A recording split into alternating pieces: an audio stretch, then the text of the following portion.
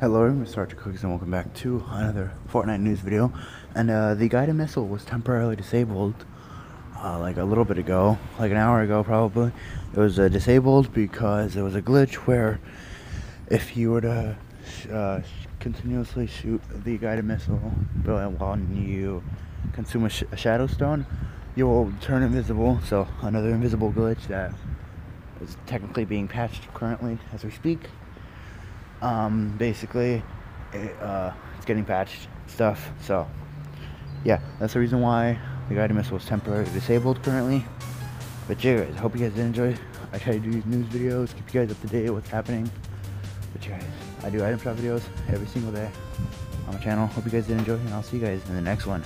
Peace out.